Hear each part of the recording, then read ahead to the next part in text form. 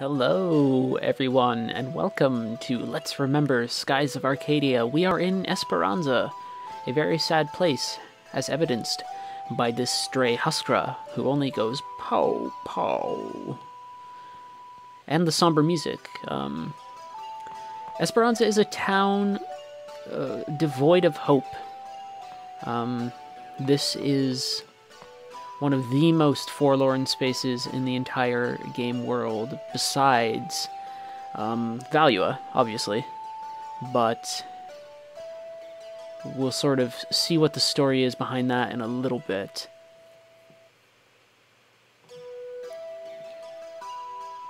Alright, so it's just uh,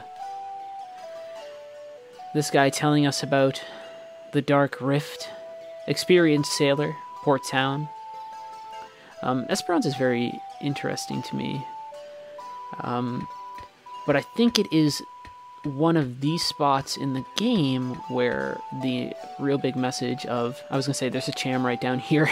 Um, surprise! I kind of know my way around this space again. Um, this is sort of a space where the game makes another statement uh, of its uh, of its thesis again.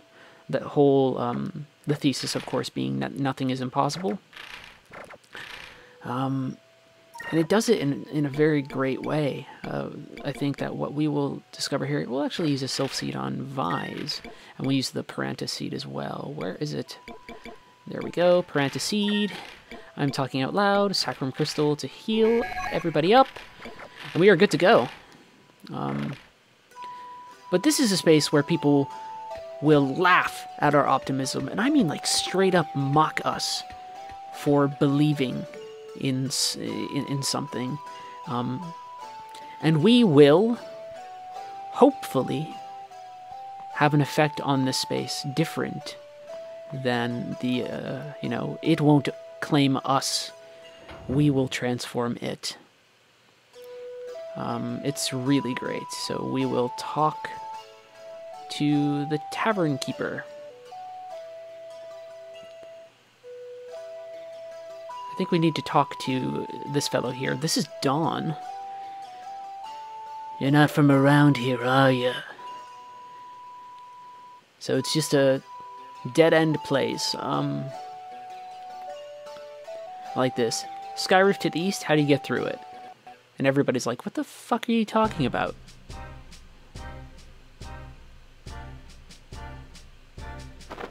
Everybody's like, what? Um, but this is what I'm talking about when I talk, talk about Esperanza. It's a, a space where people had dreams, right? and they made their attempts and they failed. This is where dreams go to die. Um, in Valua, you don't even have dreams. dreams are stillborn in Valua. Um, here, dreams have been formed and crushed and turned everyone into incredibly bitter individuals. Don being sort of the face of the town for us. Um, they built this city on the edge of the world. You can't go uh, any further. The Dark Rift claims them all. Um, it's fun stuff in its own way of building like a, a sort of mythos for a space, right? You get the sense that Esperanza is this space where dozens upon dozens of people have tried to tackle the Dark Rift and failed. Um, right? It's this place where people are used to seeing idiots waltz into town and say that they're going to explore and do these great things, and then the world has eaten them alive, right? Um, right? And here's that word the word that we say that always comes up again some things are just impossible, kid. Why don't you go back to where you came from and have your mommy tell you bedtime stories? And we're like, fuck that. Aika's like, you've thrown your lives away. Like, Vyse has none of their bullshit. Before I go, I just, like, he just lays into them. If you lose sight of one dream, replace it with another. Think about how much you could have accomplished in the time you've spent here. Just because you couldn't cross the Dark Rift, are you going to sit here for the rest of your life? Right? Skies is a game where it's like, okay, you failed. Like, okay, so Skies even when it approaches the topic of failure, you think for a while that it doesn't approach the topic of failure. We have done a lot of fairly quote unquote impossible things throughout the course of the story, and we're going to keep doing it. But now we enter a space where it's where it's like, okay, um, people have tried and failed, and the game says, okay, one thing didn't work out. It's not the end of the world. There's a whole big world out there. Um, you should keep on trying. And it's fucking great. It is fucking great. Um, and then all of a sudden, the action escalates really quickly, and the Armada shows up. Um, so now we have to deal with this, which will give us a ship battle with one of my favorite characters of the game that we have only seen but never really had any interaction with. Um, you would be well forgiven for not even remembering this character when they show up. Um, but it's very exciting stuff, if only because this is also a, a little bit of an arc for Enrique. He has to deal with facing Valua after he has left it.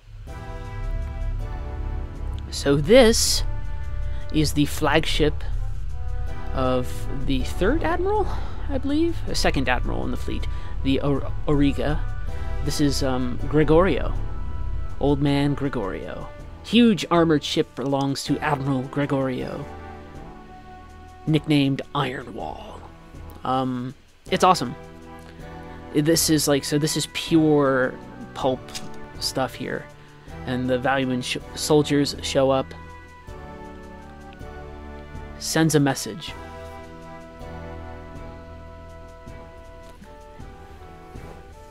this like this whole section is about two things it's about enrique it, it's about how we face up to certain people that we respect and, and how we sort of have them respect our decisions, and then it's also about how we face things that are supposedly impossible. The latter is Vyse's challenge in this space.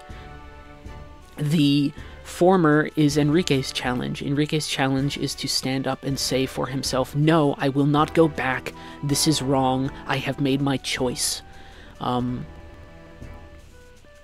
and Vyse's challenge is to say, hey, we are going to do this impossible thing. Everybody says, fuck, well, you can't do it. And Vyse is like, well, fuck you. I will. And Gregorio is uh, uh, sort of like an uncle to Enrique, right? So this is also like, he's not really his uncle, but it's sort of um, the closest we get to tackling sort of like differing family issues. Not that that's like a big crazy thing, but it's like, okay, so what do you do if someone you respect is on the other side? Right? Um, this isn't necessarily a question we've had to ask uh-huh. ourselves through Skies of Arcadia. Um, but Gregorio will prove to be a worthy adversary. In this, not quite in the same way that Belleza was. Belleza is an interesting character. Um, who takes things with good grace, but um, Gregorio is an- another example of. So I've called Enrique the best of Valua. Gregorio is a sense of sort of what Valua was in the past. Um, right? A relic almost of an age that we can only vaguely get a hint of. So this whole confrontation with Gregorio has a lot of things kind of boiling under the surface,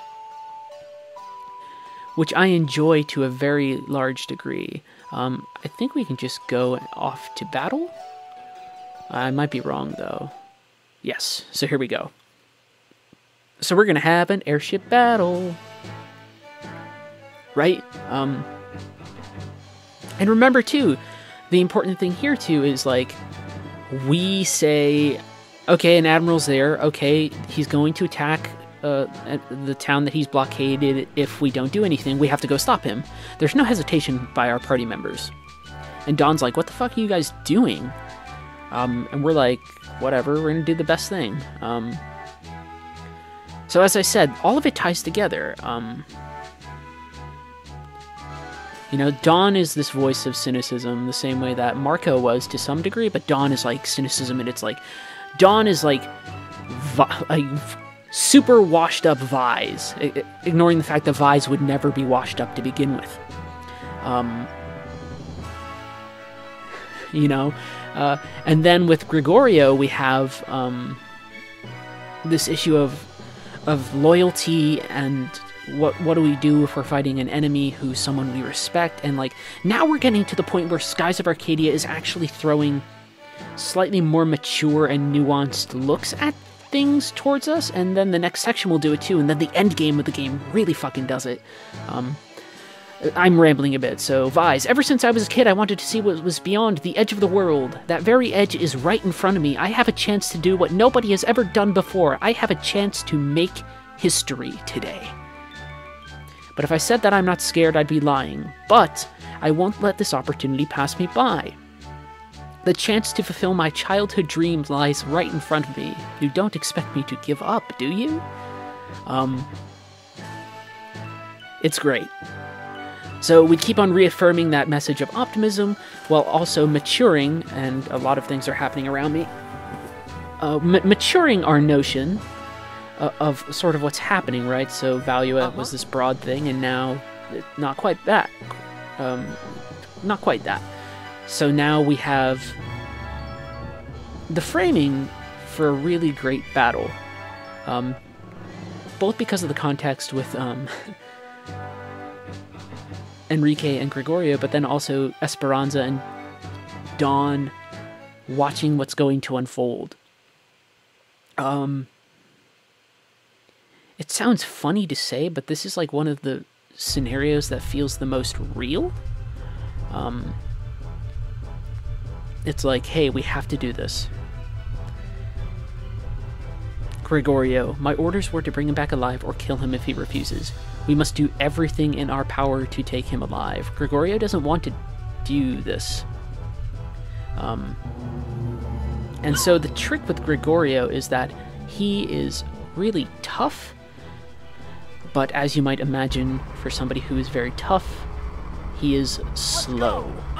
Right? So his ship has this crazy battering ram, and we don't want to get hit by it, so the thing we need to do is to find ways to avoid getting hit by Gregorio um, and his sort of spiked wall.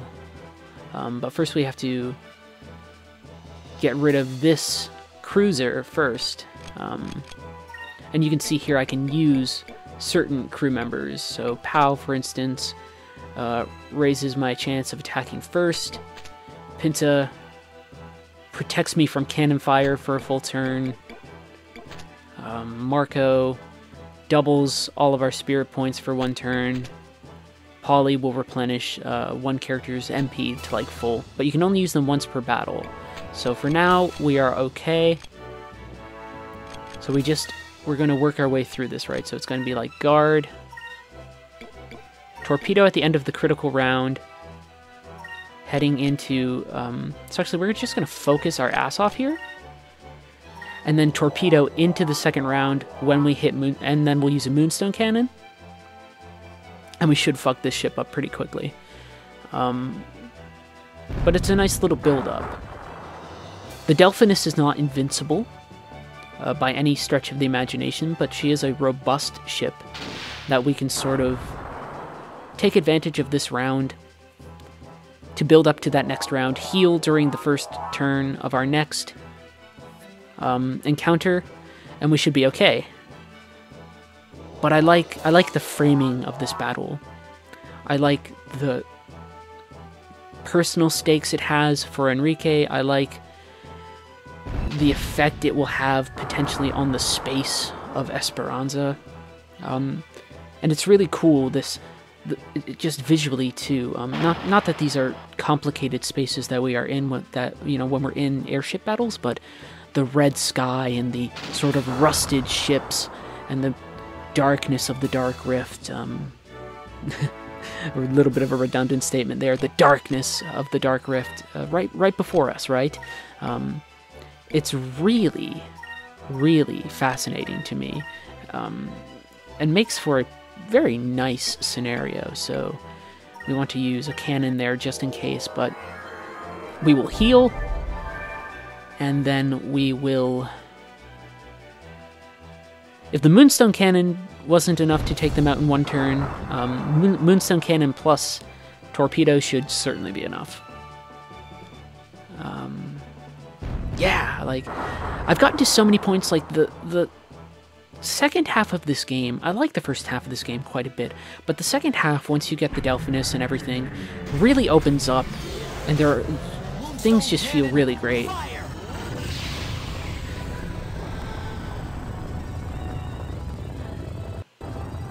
It's like, yeah, pretty hard hit.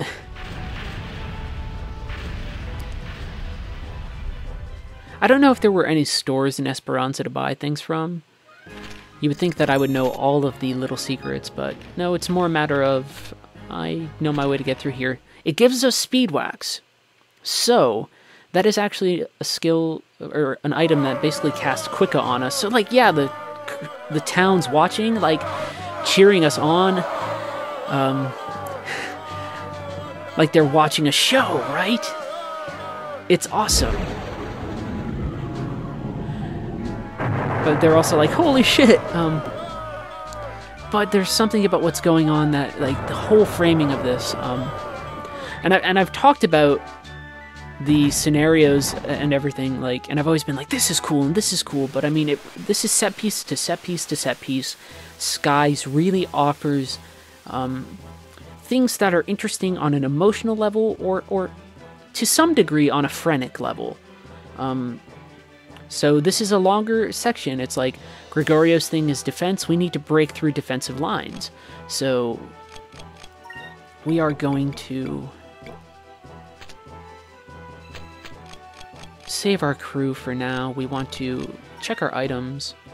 So gear grease, uh, speed wax, yeah, it improves engine output for a turn, which is basically Quika, um, which is great, but Actually, no, this won't be quite what I want, but we'll use uh, Advanced Cannon. Guard. Sacrifice to start. I was going to say, none of this is strong enough, so... We do have a crew member that can restore, like, all of our spirit points eventually, and I mean, like, all of them, I believe. Um, she's incredible. She basically turns ship battles, uh, like if, if it's like, oh shit, I need Moonstone Cannon, it's like you use that and you're pretty set and well off. The game doesn't necessarily even explain the ways that you can use crew members in battle. Um, which I, I, I said before when showing off Blue Rogues was an oversight, but also perhaps there's something interesting to be said about the way that the obfuscation makes us sort of have to quote unquote become a captain by sort of figuring out how to work and command our crew. Uh, that that's not anything the game is doing intentionally. Like that's not that's just a consequence of the ludic, right? It's not an intention of the ludic. Um, ludic, ridiculous thing, but it helps explain, you know, what I'm trying to get at at the very least. Um, here I want to to get things up quite a bit, but I also want to do a fair amount of output if I can. So we'll see how this does. We might have just blown the spirit that we need to use the Moonstone Cannon, but this should be a decent attack regardless. The real challenge of this sequence is Gregorio's flagship.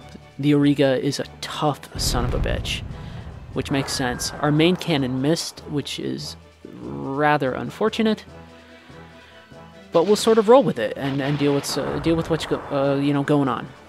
Man, I'm having trouble forming that sentence right there.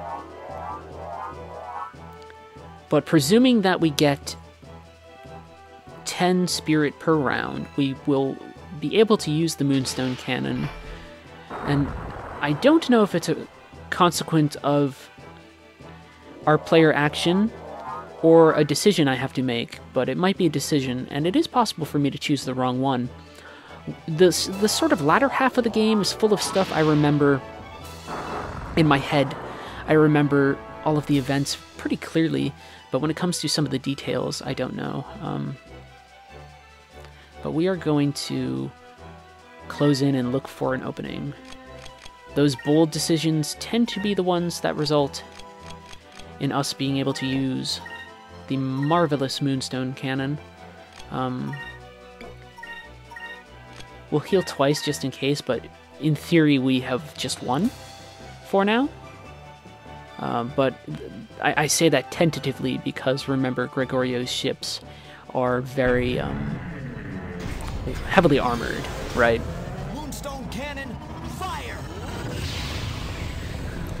But imagine this too, this prototype ship fighting the Valuan Empire before everybody, the Moonstone cannon firing, and just the people of Esperanza cheering at what's going on. Just, the, the implicit action that's happening around us is really great, and, and, and the raw emotional value that, that all of that entails is is is wonderful. Um, I mean, Skies has done a good job of painting scenarios that we have a lot of reason to care about. Um, the high point of that in the early game, and it's so insane that it comes right almost immediately in the early game, is the entire first Valuan sequence when we go to the Colosseum, when we are on the train and we rescue Fina. That's followed up later on, uh, not not just with the encounters with the Gigas, but also with the um, the emotional value of our interaction with Drachma. Um, so the entire scenario of hunting down Rokwyrm and sort of everything that happened there, like it paints a lot of these very strong moments, and we participate in them in different ways. Um, obviously, combat is the major way that we participate, but we didn't even really have combat in that moment with um, with Rokwyrm when Ramirez shot down the Little Jack we had a little bit of engagement with the overworld map where we could, you know, just sort of try and find, but we were just trying to find Rokwyrm by sound. Um, and there's some design things there that aren't great because you can still get into random encounters, but it's still the game is setting up all of these wonderful sort of scenarios that have uh, emotionally impactful uh, um, significance, which might sound like the most vapid term in the world emotional, impactful significance. But what I mean by that is that the situations are just properly contextualized in a way that we really care about what's going on. Um, so here, I mean, I do care what's happening here, and not just because I care about the characters in the space, um, but I care about what Skies has done to contextualize the the this point of the narrative which then the narrative complements how interesting it is to use the combat system in this game and it imbues the combat system with a certain emotional quality um, you know i'm watching my hp I, I, I, I have to in the next battle i'm going to need to find ways to dodge gregorio's attacks um, it also feels very frantic, but also there's um, a, a absolute quality of emotional excitement to it um, that is really great.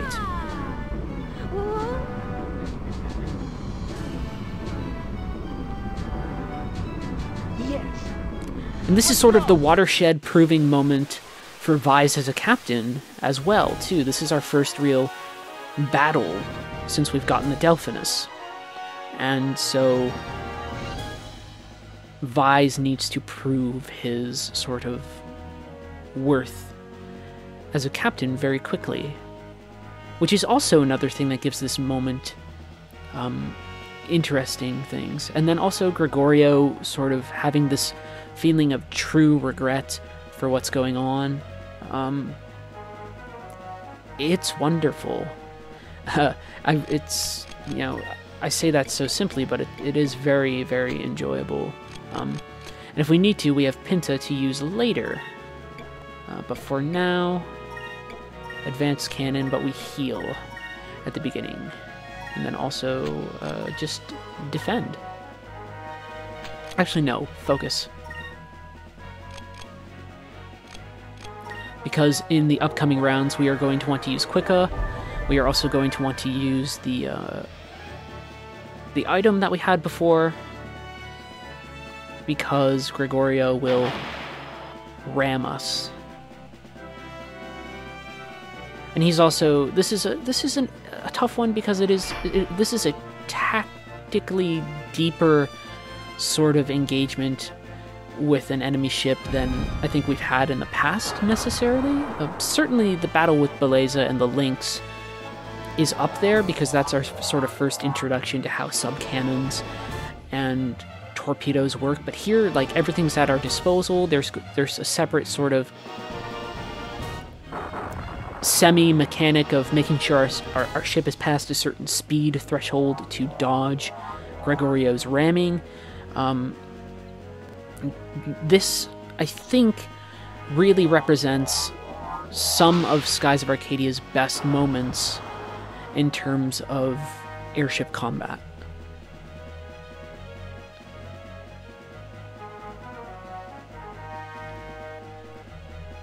So that second round where we see the red, uh, yeah, I want to avoid that. So I'm going to do a couple things. I, am going to continue to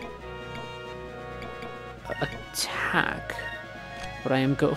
I, I am going to. Um, that's not the button I want. It's the speed wax. Yes.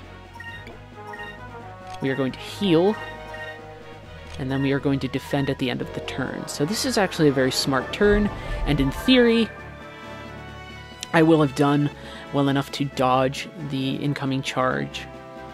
Um, the player doesn't usually know that that's something that's happening. They assume the red square is just uh, a danger square in terms of maybe, say, difficult, you know, rounds where they focus a lot of their multiple cannons or something, but admirals tend to have certain weaponry available to them. De Loco did, for instance. Um, we will get into an airship battle with Vigoro, and his ship will have its own sort of uh, challenges for us to overcome. As I said before, we have not seen the last of Vigoro by any means.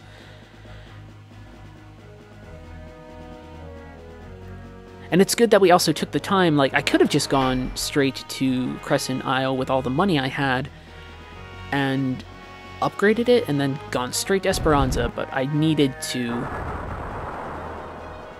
build up. Um,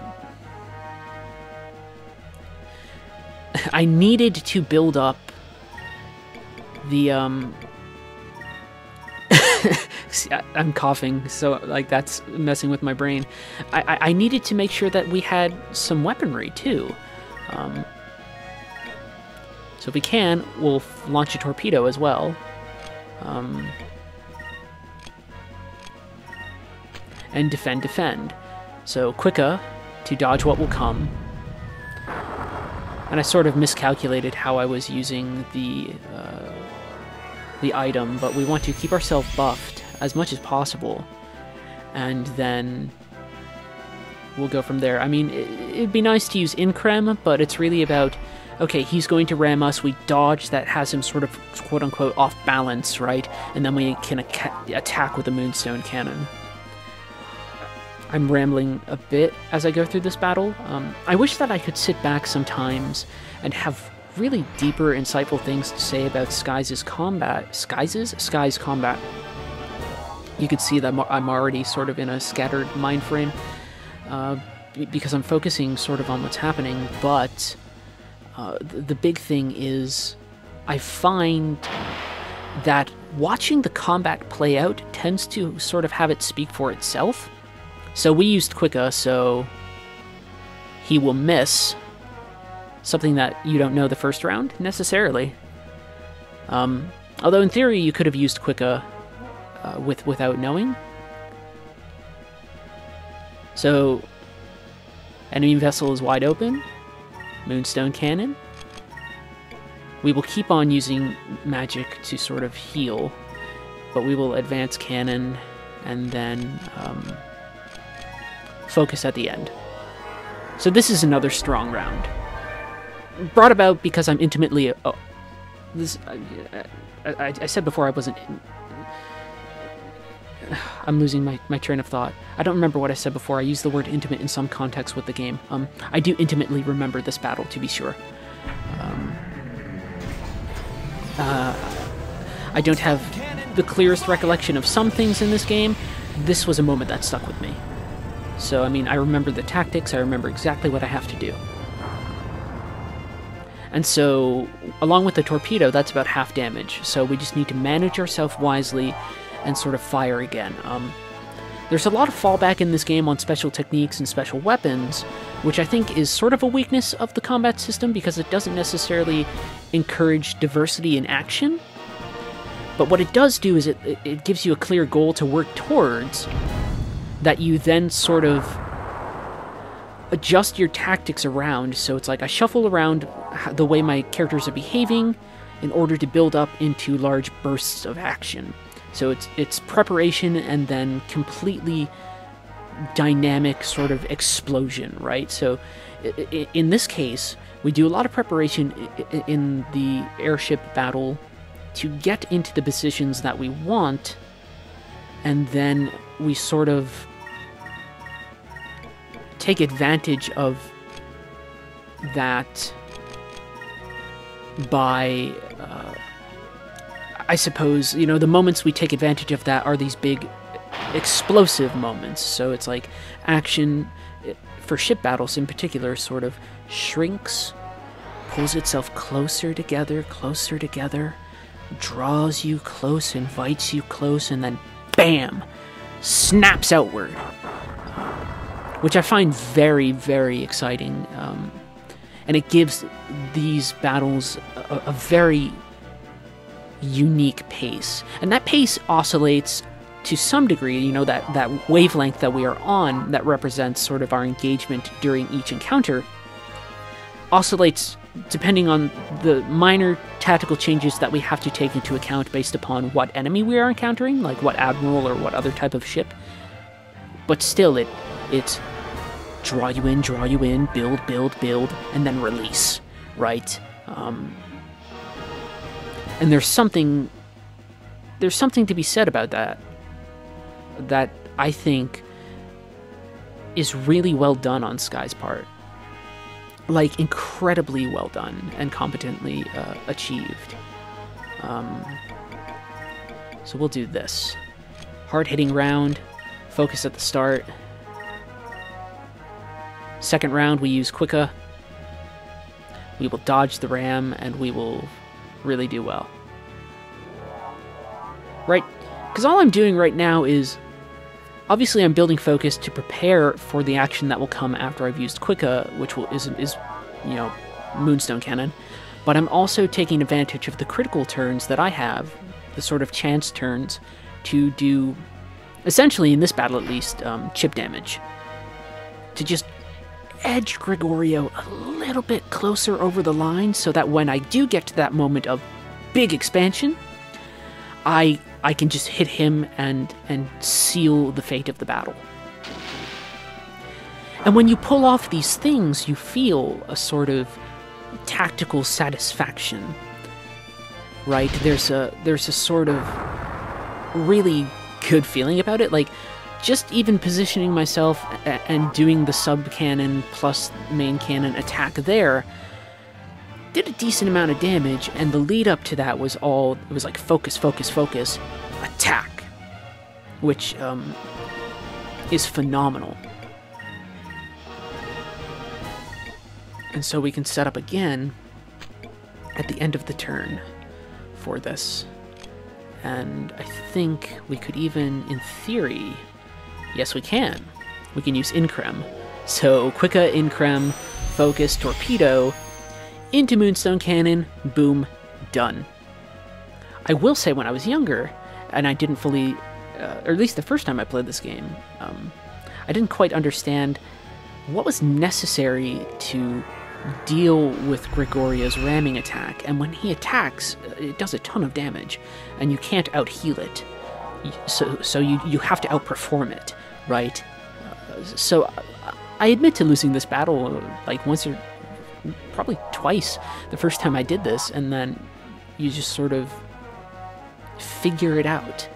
Um, you know, and they give you some context clues of like, okay, he's ramming us. We have to find a way to move faster than him and things. And then you sort of think, you know, what do I have in my catalog that can do that? But you know, sometimes you're just like, okay, this is sort of challenging. How do I deal with it? And I think this is, um, you know, we get a, a ramming action there, right? And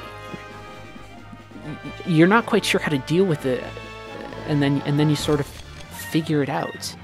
Um, and it's really edifying. And just because I'm a total bastard, I'm going to use a sub cannon into that round with the Moonstone cannon and the torpedo, and we are going to end this fucking fight.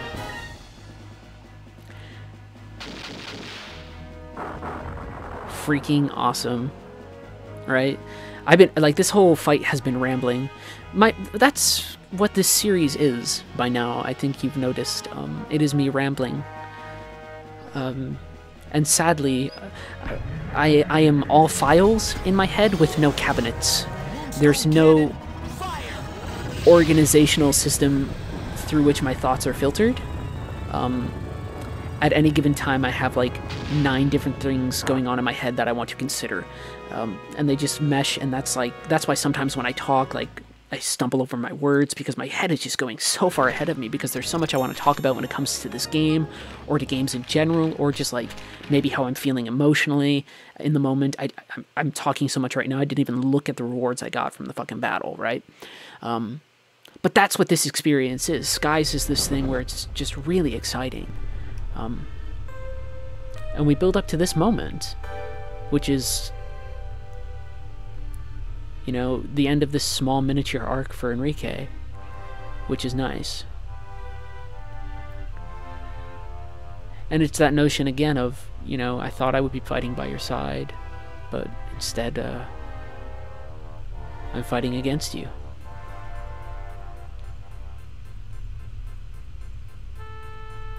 I know that you've noticed uh, what's going on, but the thing is that Gregorio is somebody who serves his country through and through. Um, Enrique is somebody who doesn't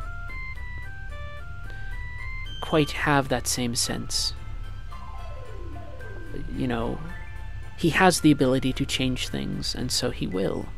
Gregorio sort of stays within the old structures and doesn't quite know how to disentangle himself from them because he spent so much time in them but you know, he doesn't like he respects um Enrique's decision. Enrique is the best of what Valua can offer. Gregorio is what Valua was in days gone past. Right? And this like and this is the the second arc of everybody just being like of somehow bringing some hope back to a space.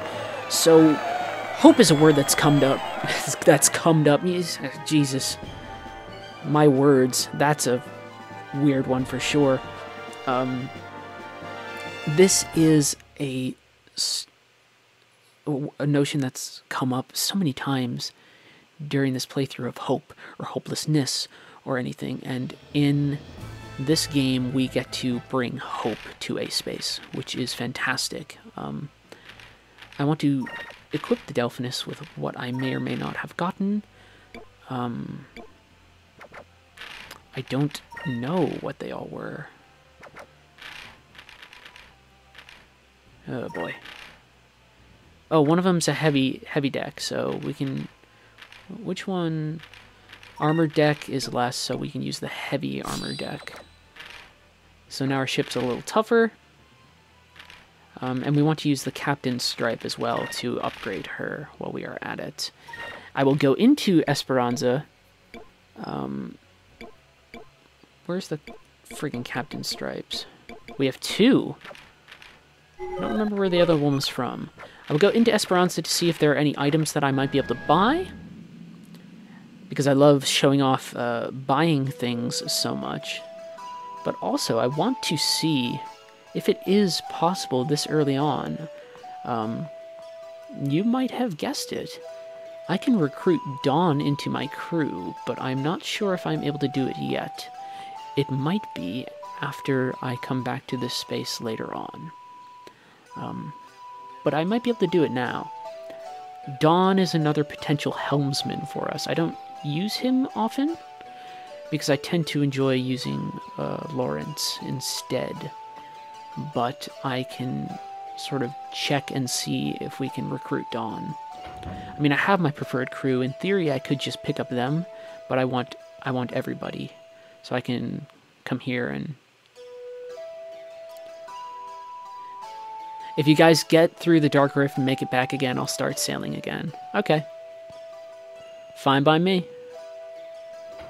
So, ladies and gentlemen, with that task ahead of us, I am going to end the episode here.